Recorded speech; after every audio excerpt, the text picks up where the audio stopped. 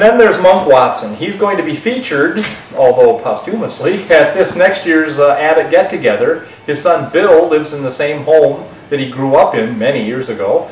And Monk is uh, going to be featured by the Lions Club with a pin in 2008 for the Abbott Magic Get Together. Now, the Lions Club every year sells pins, and they're $3, and they're great collectibles.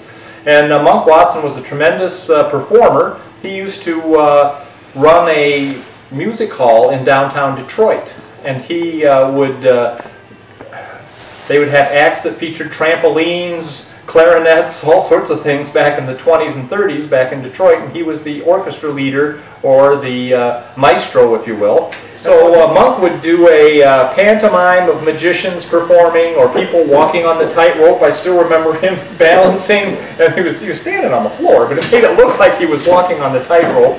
It was very funny, very funny routines. He was most famous for his conductor, and he played off the idea of an orchestra in the railroad station. And so he was a conductor conducting as a conductor, is how the whole joke went.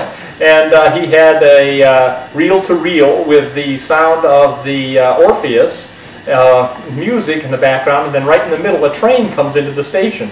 So he would go from conducting the, the orchestra to conducting the train. So it was uh, really a very horrible pun, but very, very funny.